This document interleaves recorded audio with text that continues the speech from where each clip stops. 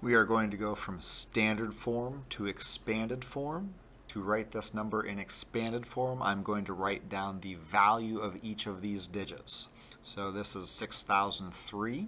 To write the expanded form, I write the value of the 6. That 6 is in the thousands place.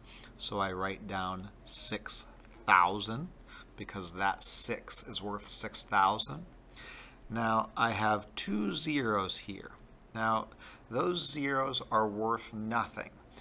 I have a zero in the hundreds place, so that zero in the hundreds place is worth no hundreds, but I still want to write down three zeros here.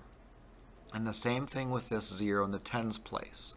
I want to write down two zeros there because a zero in the tens place is worth 0. But I want to show that it's zero tens and I want to show that that is 0 hundreds.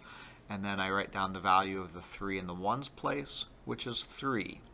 By keeping those zeros in there, I keep my pattern.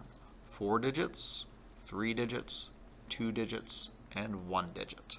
Same thing down here with this one. I write down the place value of the 2. It's a 2 in the thousands place, plus a 0 in the hundreds. Once again, that is worth nothing, but I want to put down three zeros to show that that is a 0 in the hundreds place, plus a 7 in the tens place worth 70, and plus a 0 in the ones place.